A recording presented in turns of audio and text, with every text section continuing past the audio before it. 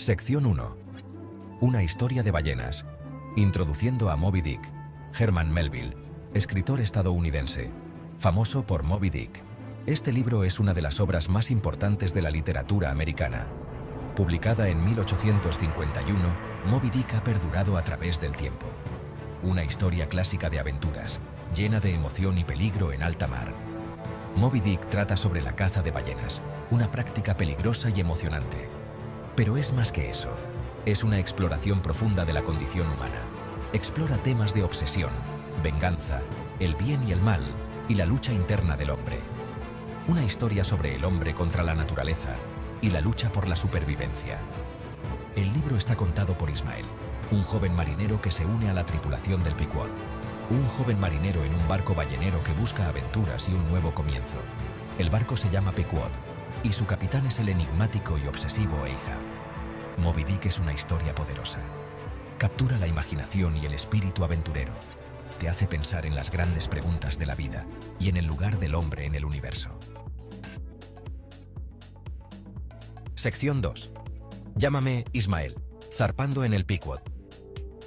Ismael se une a la tripulación del Pequod. En Nantucket conoce a Quickegg, un arponero de una isla del Mar del Sur. Se hacen amigos. A pesar de sus diferencias, zarpan en el Pequod. A bordo conocen al misterioso capitán Ahab. Ahab está impulsado por la venganza.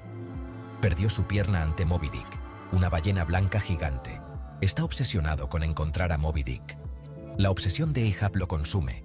Afecta a toda la tripulación. El Pequod navega por el mundo buscando a la ballena blanca. Sección 3. La obsesión de Ahab. Venganza contra Moby Dick. Ahab es un personaje complejo. Es decidido y valiente. Pero también consumido por el odio. Ve a Moby Dick como el mal, un símbolo de todo lo malo del mundo. Quiere destruir a Moby Dick. La búsqueda de venganza de Ahab. Pone en peligro a la tripulación se enfrentan a tormentas y otros peligros. La obsesión de Ahab es una advertencia sobre los peligros de la ambición desenfrenada y la naturaleza destructiva de la venganza.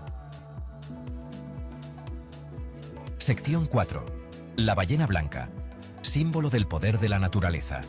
Moby Dick es más que una ballena, es un símbolo del poder de la naturaleza y lo desconocido. Rara vez se le ve pero su presencia se siente a lo largo de la historia. Representa las fuerzas que escapan a nuestro control. Moby Dick es blanco, un símbolo de pureza e inocencia, pero también de terror y muerte. Lo escurridizo de la ballena se suma a su mística, se convierte en un lienzo en blanco para los miedos y deseos de los personajes. Sección 5. Queequeg, un amigo leal y un hábil ballenero. Queequeg es un personaje fascinante, un hábil arponero y un amigo leal de Ismael. Es de una isla ficticia, con sus propias costumbres y creencias. Es un hombre complejo e inteligente. Queequeg le enseña a Ismael sobre la tolerancia y la comprensión. Desafía los prejuicios de Ismael. Queequeg es un recordatorio de que las apariencias engañan y que la verdadera amistad no conoce fronteras. Sección 6. La sabiduría de Starbuck. La voz de la razón contra la locura. Starbuck es el primer oficial del Pequod, un cuáquero y una voz de la razón. Es cauto y reflexivo. Ve el peligro en la obsesión de Ahab. Intenta razonar con Ahab, pero Ahab lo ignora. Starbuck representa la brújula moral que Ahab ha perdido. Es un recordatorio de la importancia de la cordura. La lucha de Starbuck es trágica. Está atrapado entre el deber y la conciencia entre seguir órdenes y hacer lo correcto. Sección 7. Los peligros de la caza de ballenas. Una profesión peligrosa. La caza de ballenas ha sido una actividad humana desde tiempos inmemoriales, pero siempre ha sido una de las profesiones más arriesgadas y peligrosas. Moby Dick es un retrato vívido de la caza de ballenas. Herman Melville, a través de su obra maestra, nos lleva a bordo de un barco ballenero, donde cada día es una lucha por la supervivencia. Una profesión peligrosa y brutal. Los balleneros enfrentan no solo a las enormes ballenas, sino también a los elementos implacables del océano. Melville lo describe en detalle. Los peligros son reales. Cada arponeo, cada tormenta, cada maniobra en el mar puede ser la última, desde tormentas hasta ataques de ballenas. Las tormentas pueden surgir de la nada, y las ballenas en su desesperación pueden volverse increíblemente peligrosas. La tripulación arriesga sus vidas todos los días. Cada miembro del equipo debe estar preparado para cualquier eventualidad, desde la lucha con una ballena hasta la navegación en mares traicioneros. El libro muestra las duras realidades de la caza de ballenas. La matanza de ballenas. La caza no es solo una batalla física, sino también una lucha moral y emocional. El procesamiento de su grasa. El trabajo no termina con la captura. El procesamiento de la ballena es una tarea ardua y sangrienta. Estas escenas no son para los débiles de corazón. La sangre, el sudor y las lágrimas son parte del día a día de un ballenero, pero son un recordatorio del costo de nuestras acciones. Cada ballena cazada es un recordatorio de la lucha y el sacrificio, y el poder de la naturaleza. La naturaleza, en su majestuosidad y brutalidad, nos recuerda nuestra pequeñez y vulnerabilidad. Sección 8. La persecución final. La confrontación fatal de Ahab. El Pequod finalmente se encuentra con Moby Dick. Comienza una persecución de tres días, llena de tensión y expectación. Ahab se enfrenta a Moby Dick. Su rabia y obsesión se apoderan de él. Ignora toda razón y precaución. Moby Dick destruye el Pequod, y todos menos uno de la tripulación se pierden. Solo Ismael sobrevive. La escena final es a la vez trágica e imponente. Muestra el poder destructivo de la obsesión y la indiferencia de la naturaleza.